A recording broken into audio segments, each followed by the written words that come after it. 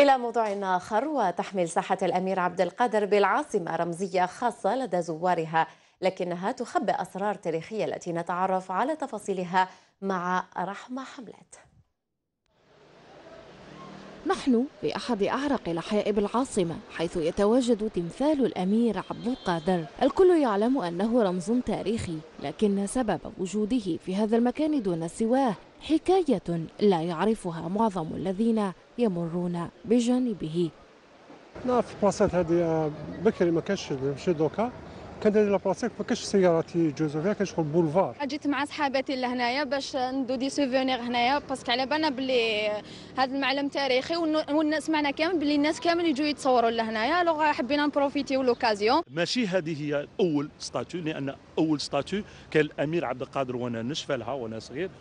يعني مقابل وعنده العود تاعو رافد زوج رجليه وهو مايل على اليسرى تاعو ويخسر كلي راهو يخسر لهنا الميكبار.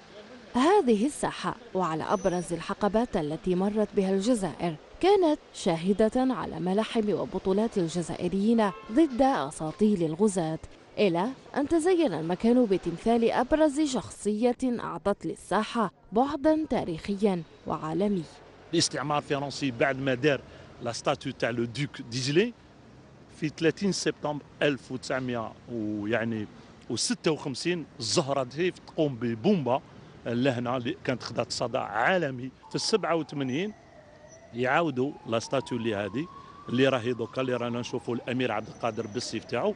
أما l'ancienne statue تتحول ce qu'on appelle la ville natale تاعو للمدينة اللي وين تعرعر فيها وين زاد هي المعسكر ومازال إلى حاليا الأمير عبد القادر. بعض الأماكن منحت لساكنيها فرصة الافتخار بوجودهم بين أسوارها وبعض الأشخاص هم من أعطوا للمكان شرف حمل أسمائهم وكان الأمير عبد القادر واحدا منهم.